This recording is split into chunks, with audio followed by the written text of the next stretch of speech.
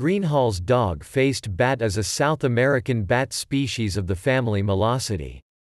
It is found in Colombia, Peru, Ecuador, Venezuela, the Guianas, northeastern Brazil and Trinidad. It is an insect-eating bat, 40 to 97 millimeters in length. Yellowish brown to black above, gray underneath, it is broad-faced with widely separated eyes. Its ears are short and rounded, the antitragus is square, its lips are not wrinkled, it has a broad snout. Mostly it is found at low elevations. Colonies of 50 to 77 roost in hollow branches of large trees. Males and females stay together throughout the year.